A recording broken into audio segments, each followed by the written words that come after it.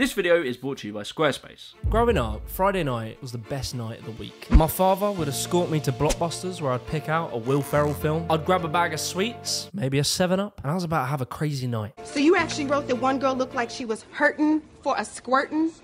Mm-hmm. Yeah, hurting for a squirtin'. I wrote that. In the 2000s, it felt like every single week there was a brand new iconic comedy film. Borat, Anchorman, Step Brothers. These films would create these kind of cultural memes. We just become best friends. Yep. Maybe you'd dress up as the characters for Halloween. But for some strange reason, in the last seven or so years, comedy films have just disappeared. And today we're going to answer the question why? Cancel culture. If you enjoyed this video, be sure to leave a like, subscribe. Obviously, I'm just playing. There is much more to it than that. And today we're going to explore the death of the comedy film. What are you doing? I'm burying you. I'm alive. I'm alive. So let's start with the history of comedy. You know, comedy was first discovered in 1886. That right there was a joke. Comedy is filled with jokes. That's the point. We make each other laugh, we reflect on life, society, hardships, funny things. We come together and share laughter. As early as the Greeks, there were comedy plays, and of course, you have your boy Shakespeare, who would write banger after banger, redefining the English language, all whilst putting a little smile on your face. And then by the late 1800s to early 1900s, there would be the big screen, cinema. Silent, silent. It was silent films. You weren't allowed to make noise. It was quiet. There was no technology to record audio. And so, one of the best things that you could translate with no audio was physical slapstick comedy. You had man like Buster Keaton, Charlie Chaplin, Harold Lloyd. These people had incredible physical comedy. Their, their movement was amazing. Many people point to people like Buster Keaton as the origins of the sport of parkour. But then into the mid 1900s, there would be the introduction of sound. We think too much and feel too little. Sound now allowed people to drop witty, zingy one liners, much like the great joke that I delivered at the start of the video. As the different genres would come along, you'd have satire, parody, dark comedy, blockbusters, teen comedies, rom coms, zom-coms, John coms.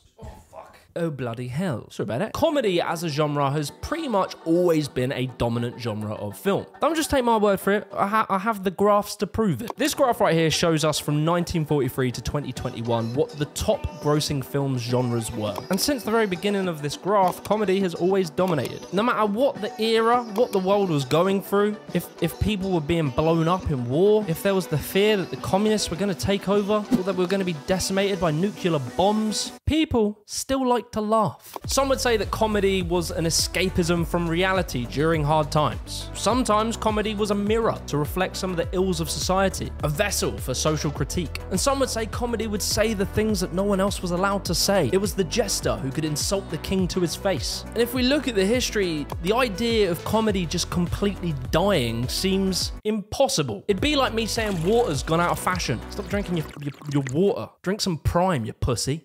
A potential scandal with the Buffalo PD surfaced today when the mayor demanded What the mayor demanded the chip. What the mayor demanded the chip. And it seemed as though up until recently, comedy films were just getting bigger and bigger. Where going by the statistics we looked at earlier, the comedy film was the biggest genre of movie in the 90s. I mean, there were so many comedies, a lot of them shit, to be honest. Didn't your mothers ever tell you not to play with guns? But some of them were iconic. Now you have to ask yourself one question Do I feel lucky?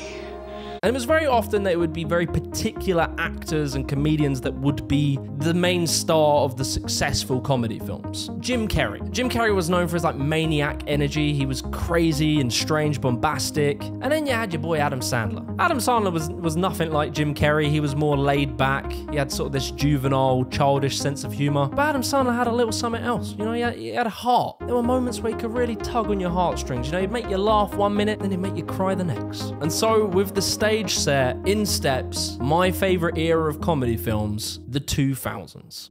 Before we continue with this video, I want to give a massive shout out to a Squarespace. Squarespace is the number one platform for building and creating your own personalized website. Competition these days when it comes to business is fierce. And a great way of separating yourself from your competition is having a beautiful website. And Squarespace is here to help. With tons of customizable templates, you can pick and choose anyone you like, customize them, tweak, turn some knobs, and voila, you have a beautiful website that conveys the quality of your company. Whatever it is you do, whether you're a freelancer or perhaps you run a clothing brand, maybe you're a PT. With Squarespace's tools such as e-commerce, email marketing, appointment scheduling, you'll be able to build a perfect website that will elevate your business to the next level. So be sure to check out squarespace.com forward slash Jimmy the Giant, and to get 10% off your first purchase of a website or a domain, use the code Jimmy the Giant. Anyway, back to the video.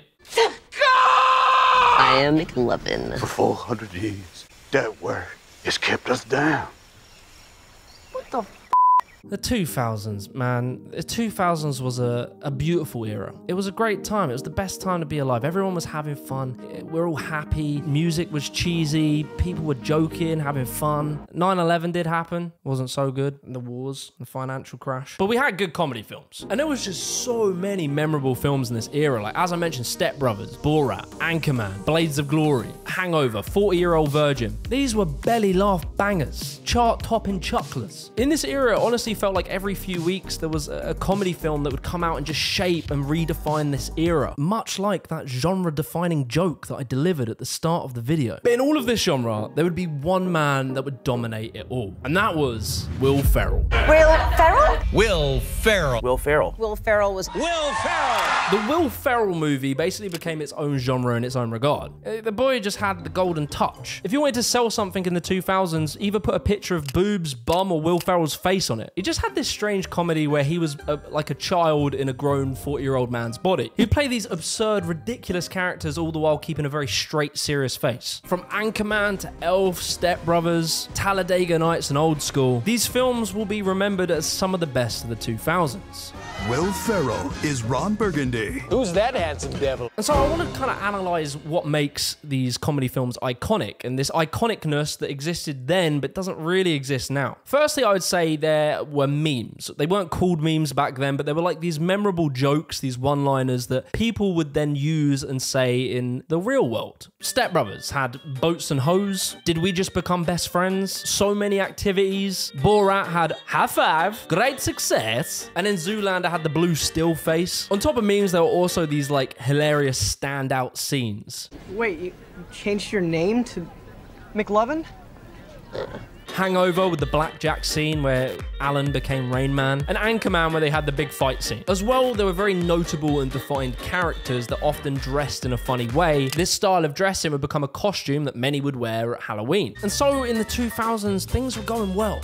Maybe just a little too well. We were talking today, or yesterday rather, with Russell Peters about when was the last time you saw a good comedy movie, and can you make a good comedy movie anymore? Many say that 2014 was the last year of big blockbuster comedies, the year that comedy died. And that last iconic comedy film being 22 Jump Street, a sequel of 21 Jump Street, which was a kind of remake of an old TV show. 22 Jump Street had all of the key components of what I said made an iconic comedy film earlier. It had the Mimi one liner with, My name is Jeff.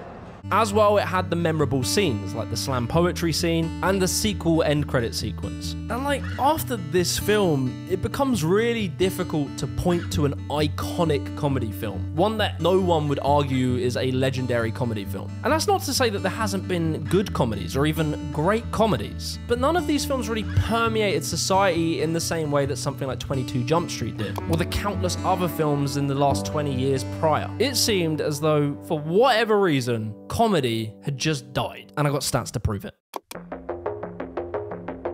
As you can see, the yellow and the light orange are like comedy and rom-coms. Comedy films seem to have majorly fallen out of like the top performing films. In fact, only three years were they in the top 10, and that was 2010, 2012, and 2013. And there are a bunch of other stats and articles showing this decline. I'm not the only person who's noticed it. And so you might be wondering, why did it die? Every studio would put out several comedies every every year, and there was like 45 or 46 comedies in the theaters every year. And then now, last year, there was like six or seven. This is very complex, and it isn't just cancel culture. That's a part of it we'll get into, but there are many different factors that all play together. Firstly, we'll start off with the rise of the superhero film. In 2008, Iron Man was released, and now every single film is a superhero film. But it was all well and good in the beginning because other genres could exist. But then, in around about 2016, superhero films did something particular. They became self-aware. You may be wondering why the red suit. Well, that's so bad guys can't see me bleed. This guy's got the right idea. He wore the brown pants. Cue the music. Look at me, guys. I'm going to comment on the fact that superhero films are kind of corny, but I'm going to do it to the camera. Look how funny that is. So, obviously, you had the film Deadpool with the character who was kind of self aware. You know, it was, it was like a tongue in cheek approach to a superhero film. And so many other superhero films came along and did the exact same kind of format and basically swallowed up comedy. Things like Guardians of the Galaxy or Thor 3. And even you would see some of these famous comedy actors move into superhero films. You had Paul Rudd, Chris Pratt, Ryan Reynolds.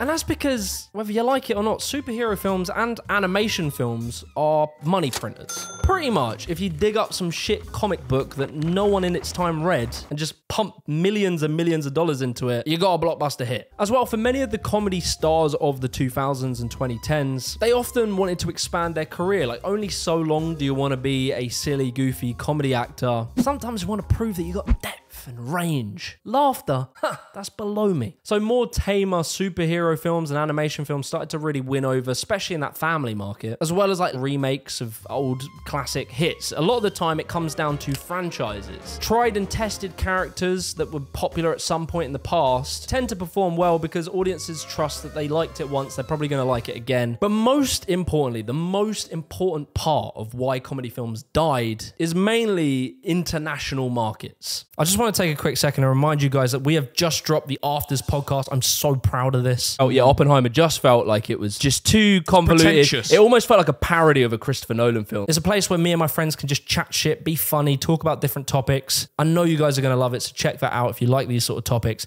We delve into them much deeper there. Links below. 21st century will belong. Our subject, the future of Chinese American relations. Markets like China and Russia, and really anywhere else, are very different culturally to domestic American markets. In these markets, it's very easy to sell something like Fast and Furious 92 or Fridge Man or some cute looking Pixar film that subtly touches on the desperation of human existence. It's far easier to sell these films to those markets because they're just big, visual, enjoyable films. Easy to dub, and lots of it translates over. One of the main problems with comedy films is that jokes that might land in America might not be funny in different countries. What are you gonna do today, Napoleon? Whatever I feel like I want to do. Gosh!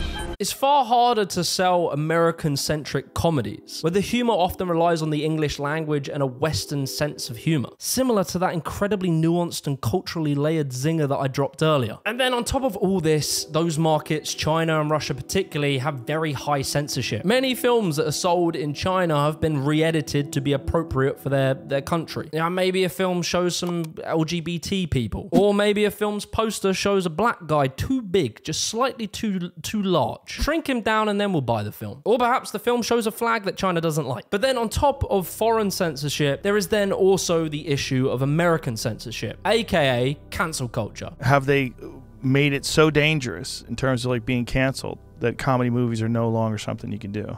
Everybody knows you never go full. re- recently retired. You are? Uh, yes. Hey, fuckers!